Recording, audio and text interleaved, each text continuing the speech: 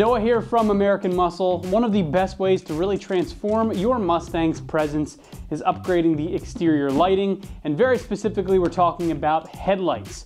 On the road today, you're gonna be seeing tons of tinted headlights, projectors, maybe ones with black housings, and all sorts of different daytime running light designs. If you're looking to get a set of headlights that check all those boxes, then these Nova Series LED projector headlights with black housings and clear lenses for the 15 to 17 Mustang and 18 and newer GT350 and 500 will be exactly what you're looking for. We're looking at that super popular dark design that you're seeing everywhere on cars today.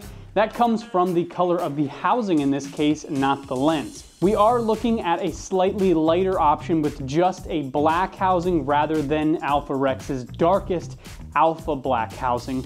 And that comes with a clear lens that allows that light to come through easily, unlike some of the darker tinted lenses or just a tinted cover that you could buy and put over the stock headlights. Now, these headlights also feature three signature ice cube projector lenses on each side, and the bulbs behind those guys are LED, so you know these are gonna be focused and super bright. Then the turn signals are amber, and the daytime running lights are white and have that awesome angry eyebrow look.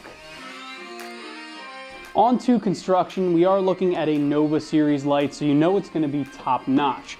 We do have industrial grade polypropylene housings that are weather sealed and they provide a nice backing to everything that's gonna be super sturdy and resilient to engine bay heat. Then around the front of the headlight, we do have impact resistant polycarbonate lenses. And then lastly, those projectors have OSRAM LEDs in them. These guys are designed to be plug and play and they're gonna drop right in where those factory lights came out. Coming in right around $1,300, these guys are going to be right around the top of the price range in terms of headlights out there for your Mustang. I will say though, with the higher price tag, you really are getting a lot of headlight. Anything Nova Series or really anything made by AlphaRex is going to be fantastic in terms of quality. So if you're in the market for a top of the line headlight and you have a larger budget, these are gonna be a great choice for you to consider. Installing these headlights is going to be simple for just about anybody to do at home. We're only looking at an install difficulty of one out of three wrenches because these guys are plug and play like I said before. Since it's such a simple install, you should really be able to get the whole thing done in about two hours, so right on par with most other headlight installs. Speaking of install, let's head over to the install bay and look at the process step by step. For this install, you will need an impact, 3 8 the quarter inch adapter if necessary, 7, 8, 10, and 13 millimeter sockets, clip removal tool, and in our case, a Phillips head screwdriver. Also not shown here is a jack and jack stand so you can reach the underside of the vehicle. What's up guys? Today we're going to be installing some headlights on our Mustang, but before we do that, we're going to send you to watch a short video on how to uninstall your factory lights, and we'll see you when you get back. So for this install, we're gonna have to get the car up in the air a little bit and we're gonna have to remove the front bumper. It's a pretty simple process. I'm gonna walk you through it. So let's get started. I'm gonna start by using my clip tool to remove the clips that hold the upper rad cover on, and I'll just pull these out and pull the rad cover off.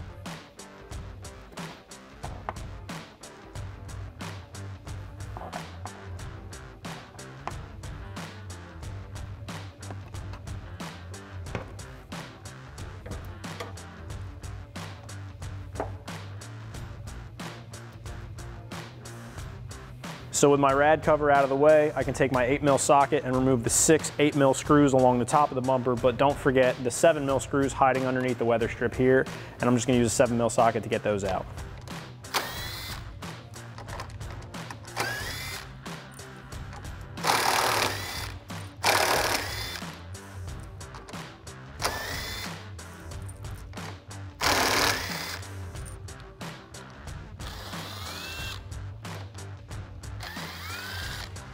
Now I need to pull back my inner fender liner here up against the front bumper. There are four clips here on the inside of the wheel well. One of ours is missing, but just imagine that it's there. And there's two at the bottom that I'll have to remove. And then I can pull my wheel well liner back far enough to gain access to the bolt that is behind the liner on the corner of the front bumper. I'm just gonna use my clip tool once again to pull the clips out and then I can pull the liner back.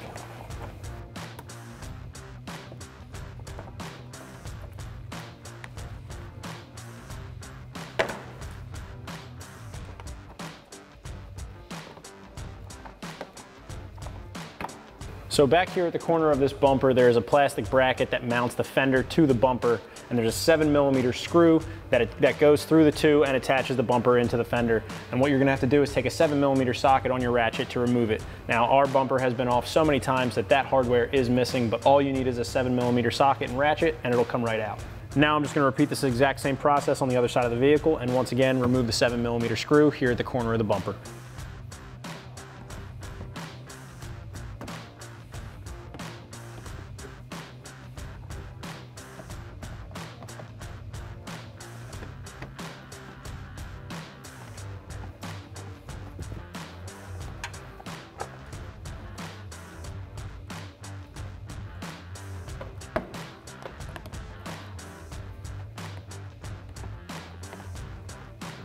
Now you can pull your fender liner back once again and remove the seven millimeter screw right here. With our fender liners pulled back and the corner of our bumper unbolted, now we can unhook our fog lights and turn signals as these are going to be coming off with the bumper when we remove it from the car. So I'm just gonna unplug my connectors and pull them off the back of the lights. And then I'm just gonna do the same thing on the other side.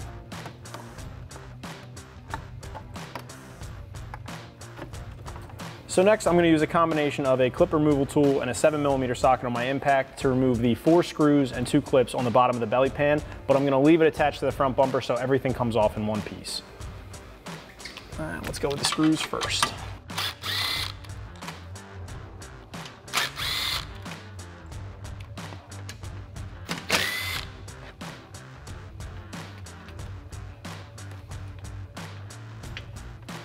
So now you're gonna want to very carefully pop the corners of the front bumper out. Make sure not to damage these tabs as you will need them to reinstall the bumper. And with both of the corners popped off now, we can remove the front bumper.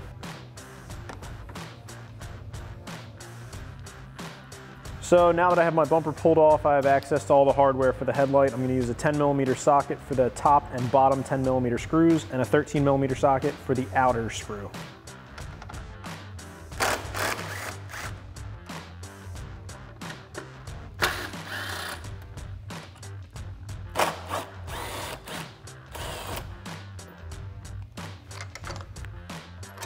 So now I can remove my headlight and unplug the connector. So these headlights do come with the ability to function in either white or amber DRLs. And in order to access that function to switch the two, you're gonna need to remove your HID ballast box from your headlight. So we'll grab our Phillips head screwdriver and go ahead and take out the four screws holding this in.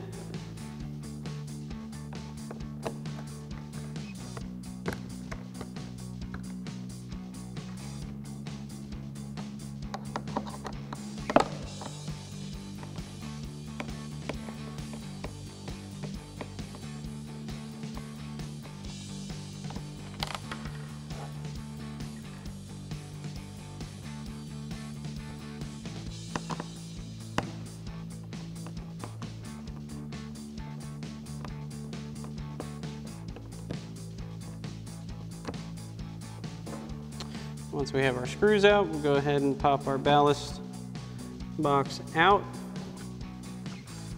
And these, you will find this little connector here on two white wires. Now if these are unplugged, this is gonna be white DRLs. But if we plug this in here, that will activate your amber DRL function. So if we have that plugged in, we'll go ahead and screw our ballast box back on.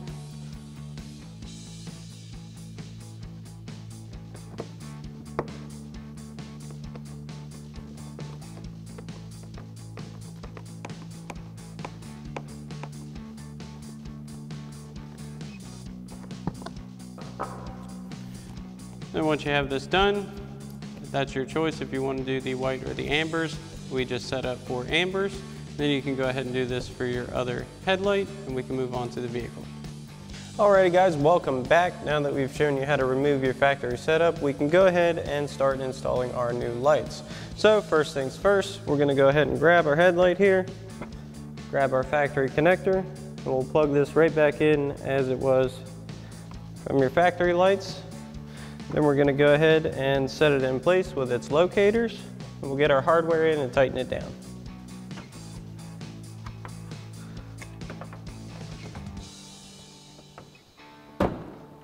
So now we'll get our two 10 millimeter screws put back in for our top and bottom mounts here. Just give them a few turns.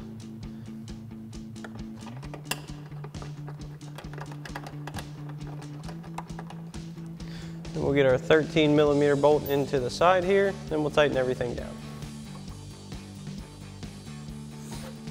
We got that started. Grab our 13 mil socket on our impact, tighten this down.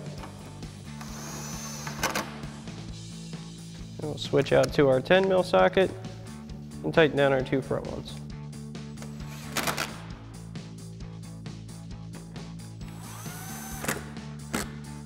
So now once you've got this light back on, you can go ahead and do the same thing for your other headlight. We'll go ahead and start throwing our bumper back on. All right, so now that we've got our headlights in place, we can go ahead and begin throwing our bumper on. So we're gonna start at our front top section here, and we have these locator dowels. We're gonna get the front top of our bumper in place on the dowels, and that'll hold everything in place as we get the rest of it on and secured. Let's go ahead and grab our bumper here.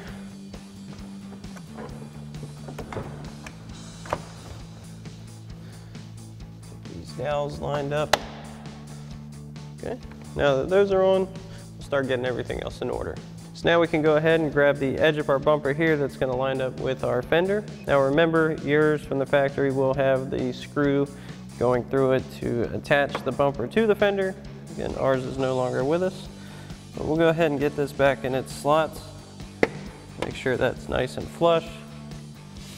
And then we'll go ahead and do the same thing for the other side. So now that we're ready to plug our lights and our bumper back in, we can go ahead and install our adapter harness for our headlights. These headlights do have a function to where they can communicate with our factory turn signals to allow action on the headlight during a turn signal. So we'll go ahead and grab our factory plug here. We'll plug our male side of our connector into our factory plug and then this part into our turn signal itself. Then we'll plug our other lights in, then we'll get our wire connected to our headlight. Get our marker light plugged in, as well as our fog lights.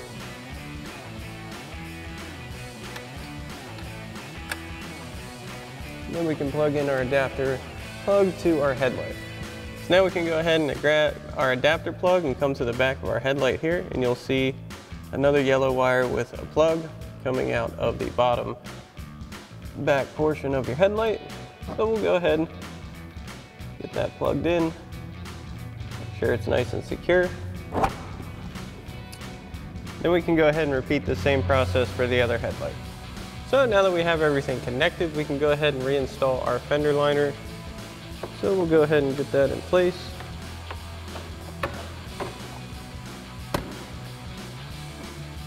It's tucked in where it's supposed to be. Then we can reinstall our push pins.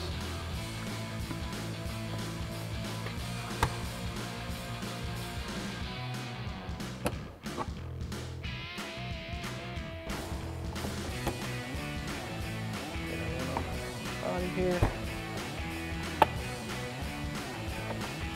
And yours from the factory should have one on the bottom as well. Again, ours is no longer with us, but that should be there for yours. And now you can go ahead and do the same thing for the other side. So now we can go ahead and reinstall our two push pins and our seven millimeter screws on our splash guard here. Go ahead, pop our pins in.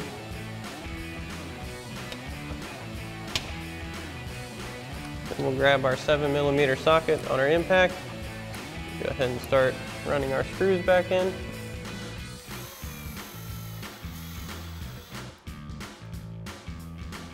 Our two forward ones here. And then our ones for our rear section.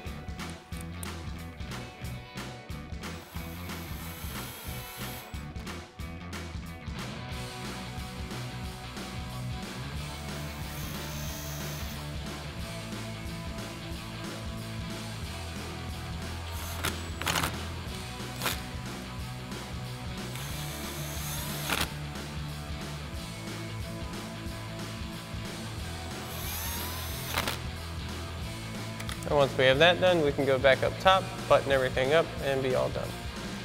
So now we'll go ahead and get all of our 8 millimeter screws run back in the top part of our bumper here. We'll grab our 8 mil socket, go ahead and run these back in. Now remember you are drilling into plastic with these screws, so there's no need to go super crazy on torque. Just nice and snug will do.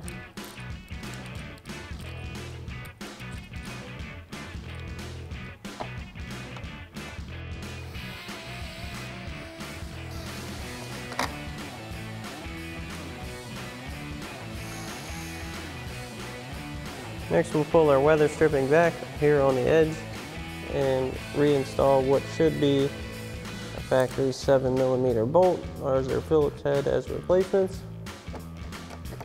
But there should be 7s from factory. Then we'll go ahead and do the same thing for the other one. Now we can go ahead and reinstall our upper radiator cover. Get this in place. Make sure it seats properly. Reinstall all of our push pins.